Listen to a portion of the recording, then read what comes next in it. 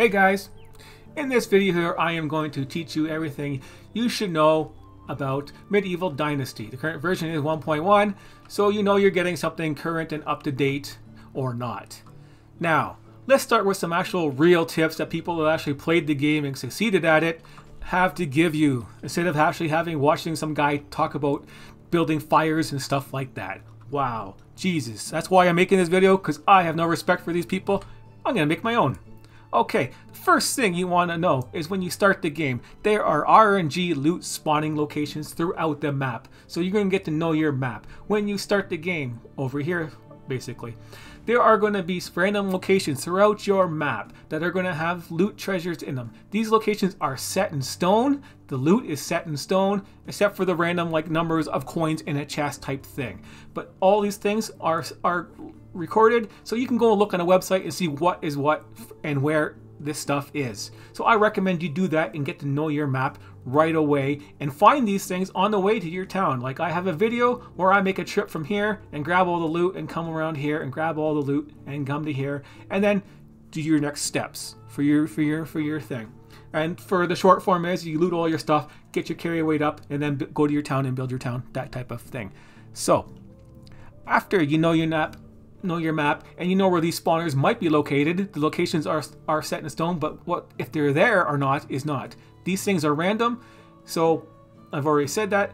But the part is they will respawn and despawn on a daily basis. They will last about two or three seasons, give or take and then new ones will pop up in locations where they weren't before or in the same location. It, you, you never know where they're going to be. Just remember where they are and keep checking if you want to check for a random loot. You never know what you're going to find. You can find good bows and good weapons and things like that. Now, the next thing you should know on this game, the season changes. When the seasons change, you get transported to your home house. That is the house that you are assigned to.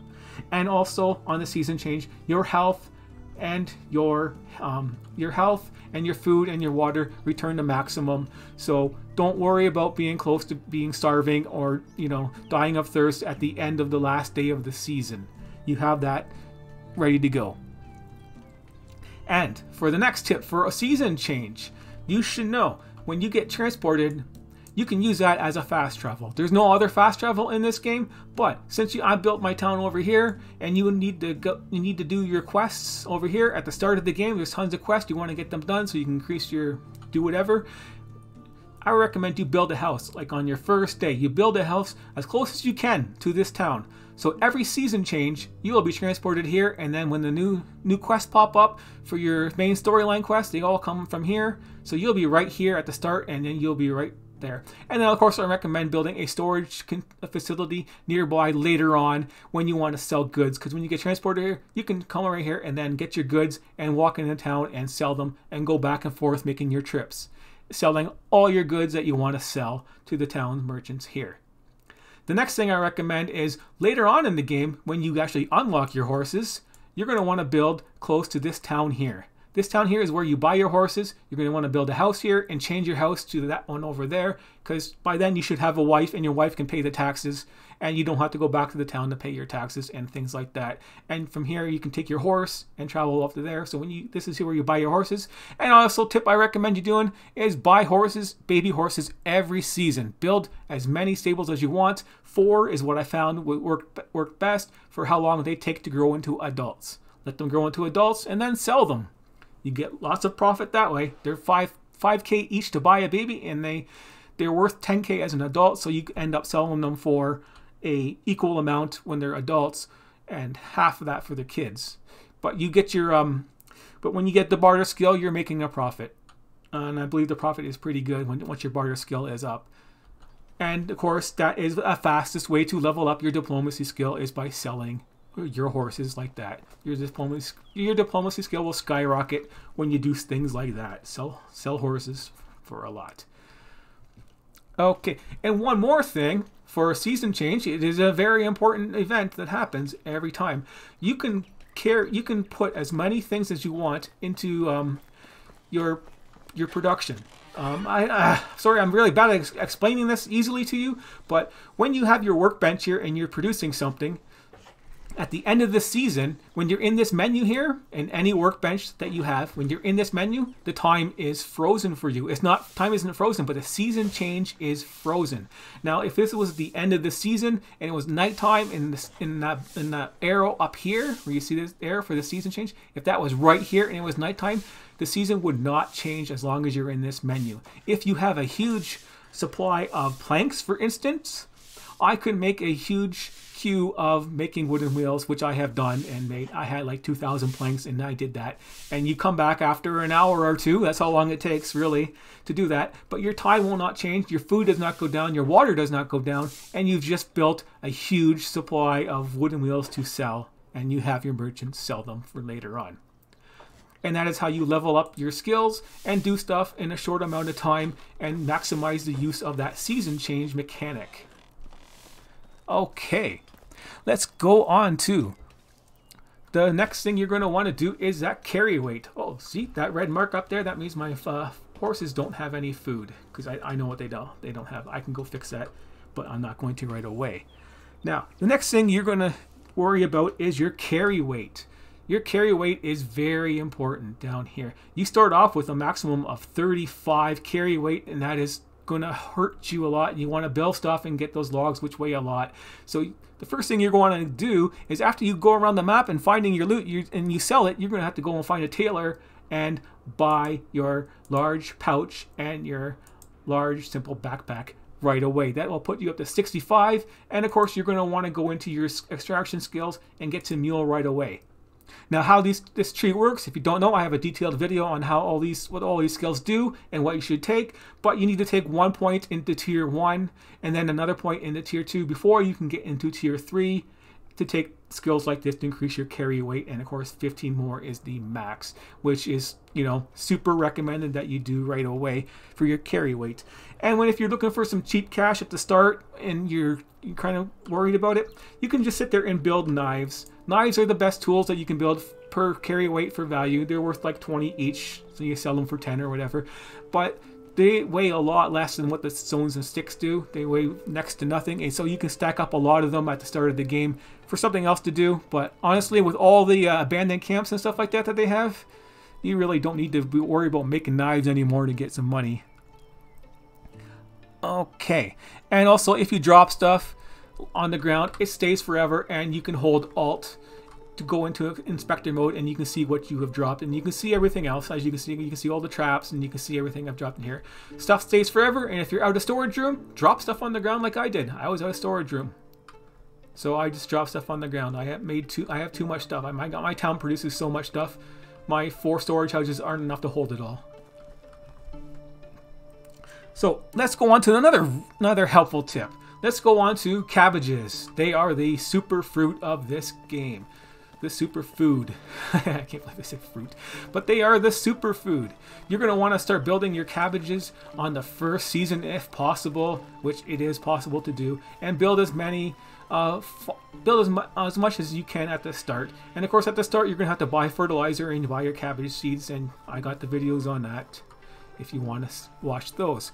But they are the great because they have a value of of seven food. They are the highest fruit um, food value that you have, and they're the easiest to do, and they work for two seasons. So in two seasons, you can grow cabbages. So in spring and in summer, you can have two harvests of cabbage, and that will feed you for a very a long time. Also, to note, when you drop food on the ground, it rots a lot faster. So why is that useful? Well, that is useful because on your barn, which you might be able to build right away, is you can change your rot into fertilizer. Fertilizer can get expensive, and if you don't have pigs yet, how are you going to get it? You're going to have to go around the towns and buy it. You know, you're going you're to go around all the towns and spend money buying crap and then turning it into fertilizer as the cheapest method. Well, this takes a lot of time and it's a lot of carry weight. And if you don't have your horse yet, you're spending all your time running around back and forth between towns. If you want to build a whole bunch of huge fields at the start, you're gonna you're not gonna it's not gonna work. So how you do this is you drop stuff like cabbages and food on the floor, and then the next season change, it will turn into rot. It's 100% rot for one season's change. In your inventory, it is 50%, and then other buildings, like in the chest here, it goes down, and of course, the food storage, it will last the longest. for its durability. And durability goes down on, on everything, so and that affects its value. But for food, it doesn't matter as much for your people eating it and stuff like that. It's just for selling. But so you know, why cabbage is so good for this, it is the only food that drops down and turns into 4 rot per cabbage. Now this is this is a uh, something to, to note because the other ones don't. Meat will drop and turn into 3 rot, but you have to go hunting and do a lot of work. Cabbages are really easy to, to uh, harvest and stuff like that, and you get their seeds, and you drop your 1000 cabbage on the ground, it turns into 4000 rot, which you then turn into 400 fertilizer, and that's enough for me to plant four fields, and you can do that twice a year, and that's enough for eight fields of fertilizer for planting. And this is how you get fertilizer right away. Of course, this won't work in the second season. For that, I recommend you just, uh, you can go and you can pick berries. You can pick unripe berries and they will drop it as one per one type thing. So you pick a thousand berries, which is pretty easy to do in a, in like, you know, a couple minutes in the game or whatever, like five minutes or so, 10 minutes might take you to pick a thousand berries. You can just drop them wherever you want, and then the next season they'll be a rot, and then you're good to go with some making some fertilizer. And of course, making the fertilizer gives you experience in your farming, and making these huge farms gets you experience in your farming fast to get your horses faster. That's why farming is very good tip to do at the start of the game is mass produce your own farming stuff right away. Now, the next thing you know, you might want to get your wife right away. You get to flirt with them every season. So hire your wife as a worker, as one of your first workers for your village, and put them in a centralized location where you know you're going to be. I put mine right here. This is everywhere I do. Everything I do is right in one centralized location. So that's the other tip I should have mentioned earlier: is to build every all your buildings in a centralized location for your production, your storage, and your production buildings, so you can easily move your resources back and forth to produce stuff and then store stuff. And I put her in the house right here, so every morning I can sleep in the house when she's not my wife, and then you wake up, she's right here, you talk to her, and you flirt with her, and you get her flirting up to like a hundred or close to it, and ask her to marry you, and then you're married, and you're good to go. It's a lot simpler to do that if you know where her house is and it's right beside your house or your main area. The other thing to note on that is your kids. Your kids and all the other kids for the villagers will have their stats be equal to um, your stats. Not equal to, sorry. They will be the average of your stats and the um, the the wife stats and uh, the man stats. I should be more specific about that. So, um, if I put these two people in the same house, they would get married and eventually have the kids. And their skill would be level 9 for the kid. So their kid would have the production value of level 9 when he was born, and when he gets old enough to work, he will do that. I do not recommend putting your people together until you want them to actually have kids, and leave them all in their houses as one each. Put the one person in one house so they do not marry and have kids because a wife will be out of work for two years, and that really wrecks your system up when you have a limited number of buildings and things like that. It's up to you. You can do whatever you want. Now, um, leveling up your skills, traps are the best way to get your hunting experience up and getting extra meat for yourself and for your villagers at the start. Trap Master increases your traps up to six total. You can have each, and these traps will keep popping up and having free loot for you. And you get the same amount of experience from a trap as you do for hunting, so go with traps. Always go with traps. Get your hunting up that way. Now, for their jobs, you want your your workers to be skilled workers and do more production for what they're doing. Not all jobs are created equal for each profession. So you should know that right now. And now how this works in this game is the value of the job. Each job does a different thing. For example, we'll go into the production for the kitchen. Now, these guys are producing vegetable soup and flatbread. These have their own set values, and at the start of the game, I recommend cooking just cooked meat and pottage. Pottage. How you say that? Pottage. Well, that's whatever whatever that uh, thing is right here. And that uses the cabbages and the meat. That's the cheapest thing you can build to start selling and making right away with your food. But this stuff, creating this stuff is slow And even though its value is high, like it, this is worth 100, vegetable soup is worth 100, so this guy's going pretty good. But he did not level up fast and get up to those levels 10 and 6 by working in the kitchen. He did not level up that way. What you do is you find the highest value job, which is uh, I found to be the sewing huts. That is why I have three of them. That is why I have tons of flax. Flax is your cash crop after you do cabbages. Make sure you're getting your flax, other fields uh, farmed with flax right away. And just so you know, I got four of them at 100 each to feed these three sewing huts with stuff like linen thread. Linen thread is high high in value because flax is high in value, and these guys get a ton of experience real fast. And this guy's already up to level 9 again. And after they get up to level 9, I take them off this job, and then I move them up to another job like the smithy. Smithy is a nice average job progression, but you put them in the smithy, like I put this guy over here and he's level 8. I put him, he was working over in the sewing hut. But you put him over here and now you have a high production values on your smithy and you're making your other things nice and fast. Versus things like, you know, the workshop, which is another slow job progression, but you want one because you need to build your buckets and stuff like that. And you don't want to keep doing this yourself and you need your bowls and stuff like that. Whatever you're going to build. But so, all these jobs have a different value. You just look at the value on the crops and you can find it out, figure it out for yourself and that's why like you know things for for farming job. You want to level up your farmers. The pigsty is the best place to do it. Keep all five pigs and you're producing a lot of manure. Manure is cheap but look how much he's producing. And this is the fastest I found for leveling up your farmers. You stick them in the pigsty with five pigs, they level up super fast, they get up to eight or nine. You change them into other jobs that you want them to have good in, like the fold. The fold is a good place to level up too, but at the start, it's not super fast because you only have like a couple sheep and you want to have this thing maxed out. Once you have maximum number of sheep though, you are producing a lot of wool, which is a lot worth a lot. And so this guy is leveling up super fast once your fold is completely full of people. And then once they are leveled up, you can move them into farming. And when they're in the farming, you can stick them into a barn worker and on working on the fields and stuff like that. And they will level. And since they are leveled up faster, they are working harder for you and doing more for you. And of course, animal feed is your highest one here, and things like flour are worth a lot too. So these guys are barn workers go up level fast too, as long as you have them doing things like animal feed. Uh, fertilizer they don't level up very fast in because it's not as high as a value of a thing. This is worth 40 and this is worth 7, I believe or seven and a half or something like that to, for fertilizer. So this is worth a lot more, and they get a lot. So they'll get a lot more experience out of it.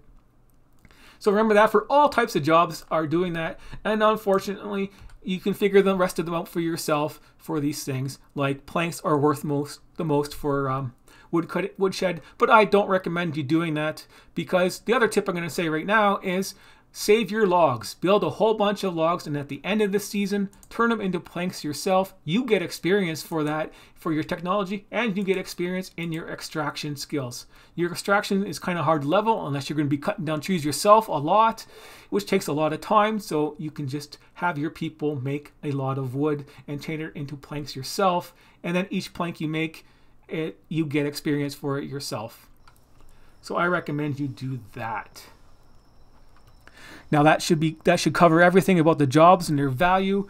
And the value is more is really more important. I should stress that again. The value of what they're doing gives you more experience. Same for selling stuff. If you sell something that's worth 10 gold and you sell 10 of them, or you sell something worth 100, you get more experience off selling the one item worth 100 than you do selling the 10 things that are worth 10 each.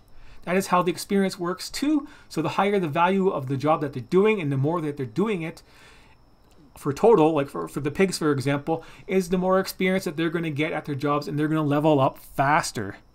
So that is good. And also remember, your guys need tools. Make sure you put your tools inside your storage area and your people will use the tools up by themselves. And also to note, they will go with the lowest conditioned item that they have. So just so you know, if everything happened to your, like your, if you had an awesome, um, let's say an iron, What's, what's something you want? Something you might buy at the start is an iron pick to save yourself a time for mining. If you have an iron pick in here, but its percent value went down to something like four percent, and you had your storage area full of stone, stone, um, stone picks, your people will pick that your iron pick on you and use it up on you because its condition is lower than that of a full stone pick. So that's how they use it. But they will use the lowest value item that you have in there and the condition of it matters when they pick it. So they won't just always pick the stone thing. They will pick by condition. So remember that. Now, the next thing you should know, um, outside hunting and stuff like that. Hunting is is really easy, right? The wolves stand there and you can shoot them. The boars will stand there for a second and you can shoot them. But bears and the and the uh, buffalo guys, they don't. And they are big and they can kill you. I've I've been killed by a bear in one hit one time. Very unlucky. You don't want that to happen to you. Carry logs with you. This is a nice tip. Carry logs with you enough to build a woodshed. And then what you do is when you're coming close to them, is you take your woodshed and you drop it down in the middle wherever you are. You drop your woodshed down, you stand in the middle of the, of the uh, foundation for it, and they will not pathfind to you very well. Now it's nighttime and you can't see nothing, but that is what happens. I will go to the daytime as I talk, but so that is a good tip for you to do, is drop a foundation of any building nearby and you're, uh, you can be safe from their attacks. It's not perfect. Watch my videos. You can see it's not perfect if you're sloppy about it, and uh, you're going to kill like three of the buffalo guys at once with spears. You know, they can like you know come and get you. They have a huge attack range, but you can do it safely if you use a tip like that. The other thing you should know is mount transferring. Once you get your horse and you summon it, your horse can you can transfer your goods to your horse. Obviously, you know this, but the distance is 15 meters. So you can go up to 15 meters away and transfer your goods. So if, if I wanted to build a lot of tools, for instance, like you want to build a whole bunch of tools yourself, you don't have the workers yet, you put your horse like somewhere over here, you go to your storage area, you grab as much stuff as you want, and then you transfer it to your horse, to your inventory, to your inventory, and you just like, you know, there's your mount thing right there. You know, transfer to your mount. And then you move to where you want to go and then grab your, and then transfer that that way. So that is another tip for transferring stuff around to save you a little bit of time.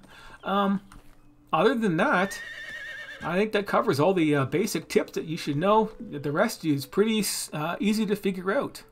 So good luck in your game. Uh, I'll talk to you later.